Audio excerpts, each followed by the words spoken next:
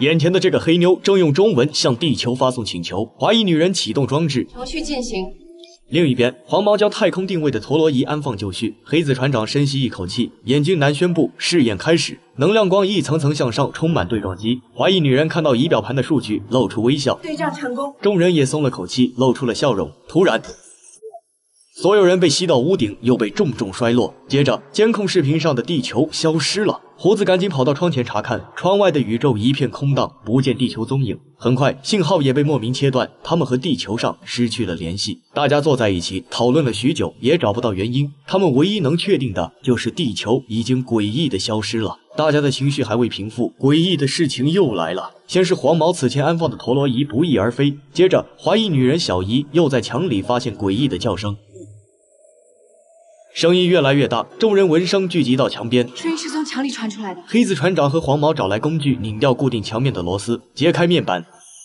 众人惊呆，一个陌生的女人被电线穿透身体，正在痛苦的嚎叫。大家剪断电线，把女人救出，将她送上手术台。女人生死未卜。另一边，黄毛又碰上了怪事，他总觉得眼睛不舒服，于是对着镜子仔细检查。突然，他的眼球不受控制的跑到另一边，他使劲闭上眼睛，再睁开，才回归原位，眼睛没事了。但黄毛脑子里又开始出现怪声，怪声给黄毛下达了一道命令。他悄悄地走到 3D 打印机前，打印了一把武器，然后来到控制室，拿。枪指着眼镜男和小姨，逼他们交出空间站的控制权。突然，黄毛呕吐倒地，开始疯狂抽搐。眼镜和小姨把他带到医疗室，还未来得及治疗，黄毛又吐血不止，没多久就失去了心跳。更诡异的是，大家还从他的体内发现了之前丢失的陀螺仪。与此同时，墙里的女人被救醒。大家在和他交谈的一番话中，了解到了空间站里有内奸。很快，黑子船长根据通信记录确定了内鬼。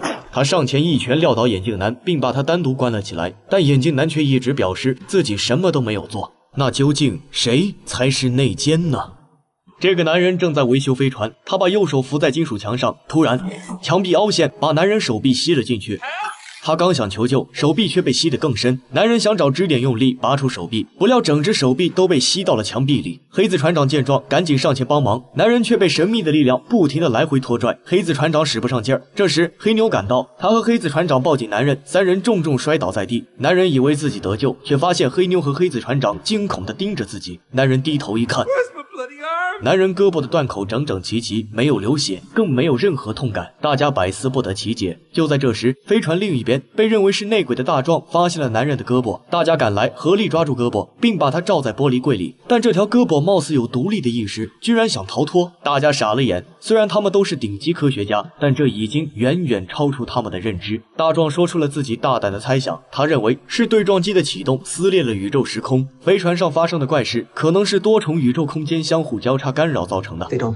顺着这个思路，他们果真找到了丢失的地球。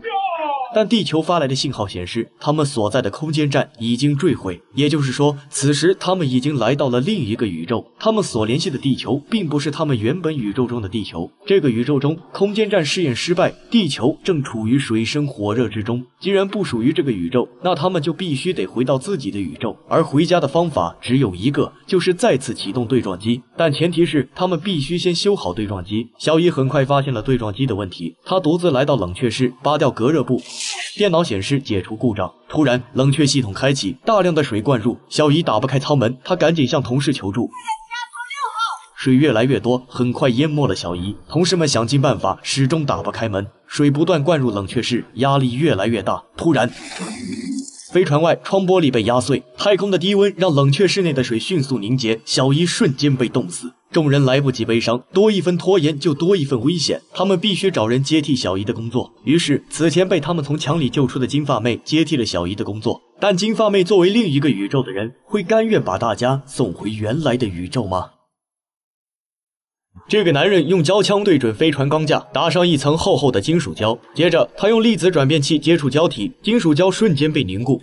黑妞接到男人信息，通知同事们待命，一场外太空的粒子对撞试验即将开启。如果成功，他们将穿越平行宇宙，回到自己的宇宙时空。一切准备就绪，突然，男人被巨大的磁力吸到门上，他赶紧扔掉身上的金属，幸运脱险。男人上前查看，就在此时，他身后的金属融化，变成一条条手臂，慢慢靠近他，突然将他缠住，并一点点进入他的身体。紧接着，气罐爆炸。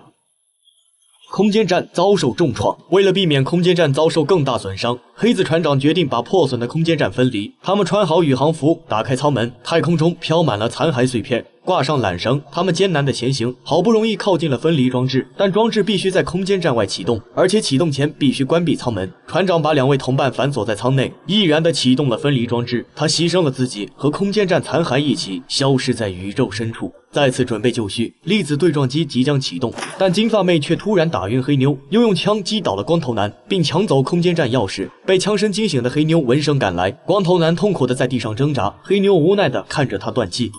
突然又是一声枪响，黑妞赶紧追过去。这时小帅已被金发妹打倒在地，黑妞劝他别再杀人。金发妹说她要回到自己的宇宙，因为在金发妹的宇宙中，空间站已经坠毁。为了拯救自己宇宙中的地球，她只有牺牲所有人。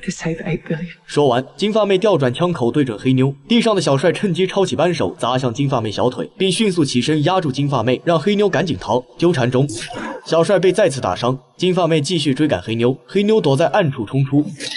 两人扭打在一起，黑妞拿到枪冲着屏幕射击，空间站气压骤变，女人被吸了过去，黑妞关上了舱门，女人被抛出空间站。